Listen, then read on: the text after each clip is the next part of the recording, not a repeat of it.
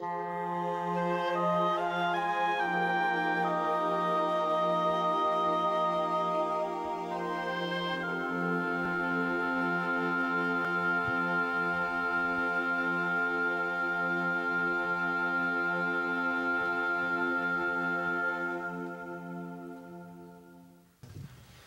one of the reasons why we're uh, concerned about white nose syndrome is up in New York and Vermont and Massachusetts, thousands of bats have been dying. And the only symptom we seem to find on these bats is this little bit of white fungus, uh, which can be seen right on the tip of their nose. And uh, other than that, the bats seem to be rather lethargic and seem to be moving from their typical roost towards the entrance.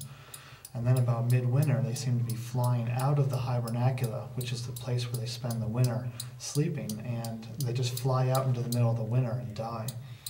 Uh, so what we're doing here is we're trying to figure out what's going on with the bats that would cause them to change their behavioral patterns from hibernating deep inside a mine to moving up towards the front end here into the daylighted zone and then eventually emerging to, to fly out.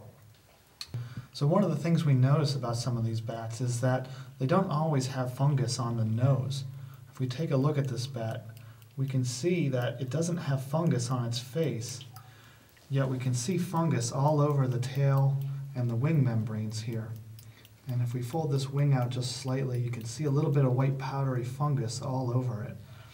And we don't know if this fungus is actually causing these bats to die. We just know that the fungus is a visual symptom that is uh, uh, seen by us, and, and the bats eventually are staging towards the front and then flying out of the site.